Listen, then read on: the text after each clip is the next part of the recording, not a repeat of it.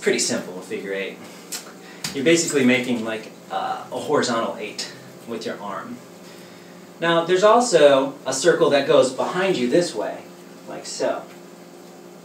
As you can notice, think of it like a clock, okay? And every time we hit, um, let's see, every time we're here and we hit 12 o'clock, it's going to it's going to pull over to the other side of our body.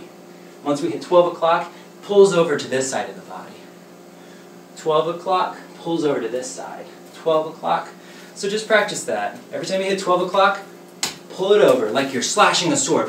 I'll stand this direction so you can see. Once we hit 12 o'clock, we're pulling it over to the other side of our body. 12 o'clock slash. Eventually you'll just be making these slashes, and it looks like a, infinity sign or a sideways 8. That's exactly what you want. Now tighten it a little bit, like this.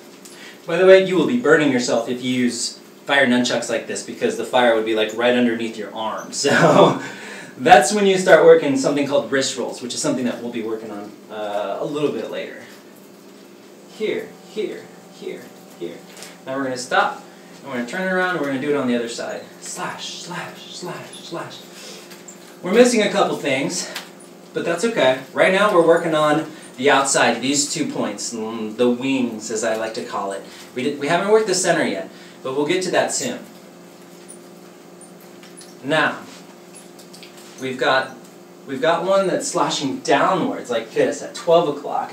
If you do the reverse, if your arm's moving in the opposite direction, it's going to be moving up at 6 o'clock and you're slashing upwards. Before, see how we're slashing downwards? If you're doing the reverse figure eight, it's slashing upwards like this. Up. So every time it hits 6 o'clock, it slashes up. 6 o'clock, up. So it looks like this. Or if we're going this direction, okay, for this direction, up, up, up. Now as you can see, there's a circle here and a circle here, and it's just crossing between these two circles, right? Every time we hit 6 o'clock, it pulls up, 6 o'clock, pulls up, 6 o'clock, pulls up, 6 o'clock, pulls up. Here's an interesting thing. If we pull it up at 6 o'clock, and once we hit 12 o'clock, we can turn 180 degrees, okay? And then we can reverse it. Let that sit for a second, okay? So what I'm saying is if I'm doing re reverse here, we're going up at 6 o'clock. The moment I hit 12 o'clock, I can turn this direction, and now I'll do a regular figure eight at 12 o'clock.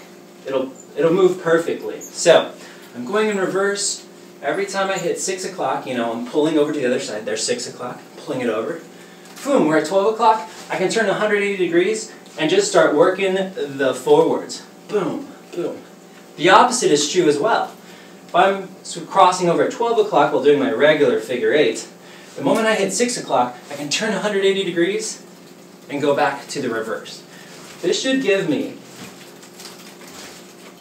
this should give me access to both of these points while skipping the center point, okay? Which is going to be the next thing that we're going to get into. This may take some time to learn, but I'm telling you, this is like the core because what you're doing is you're opening movement. You're opening your ability to be able to move across a room doing figure eights. Like, you probably may not be able to see this well, but you'll be able to move back and forth with figure eights all the way through. And once we add the wrist rolls, it's going to create so much flair and so much variety.